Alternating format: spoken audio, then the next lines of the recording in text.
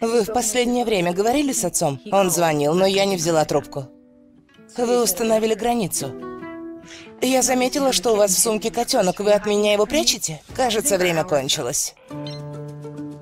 Надо же, перезвонила наконец. Тебя из дома престарелых выгнали? Мы не станем терпеть здесь человека столь низких моральных устоев. О, ну что вы. Отцу жить негде. Он со мной уже жил. ФБР потом неделю за мной следила. Я бы его взяла, но какой пример он подаст Генри? Значит, мы с вами увидимся? Нет, я его на самолет посажу.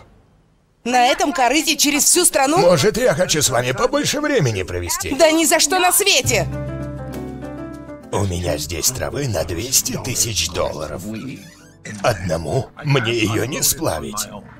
Я помогу. Ты что, маршрут изменил? Он мне двадцатку дал. Генри, привет! Что это за люди? Старые дедушкины друзья. Ничего не вдыхай. Нет, хватит с нас уже собак. Будешь у нас гамельский песолов. Чего ты вечно на деда жалуешься? Он мне нравится. Не обижай парня. Я-то пережила, а вот он вряд ли. Твоя мать не обрадуется следующему адресату. Кому? Отцу твоему. Я хочу с ним встретиться. Нет. А ты, как всегда, загляденье. Он всегда дурно на меня влиял.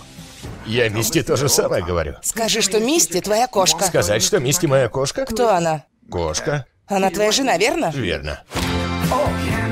Я установила границы. Здравствуйте. Провела черту на песке, вернее, на цементе. Доброе утро! Вера Фармига, Кристофер Пламер, Кристен Шау, Кристофер Ллойд. Семья — это самое главное. Когда я тебя смешил? Ой, пап. Видишь, до сих пор смеюсь. Границы. Блин, Джек, я думал, ты буддист.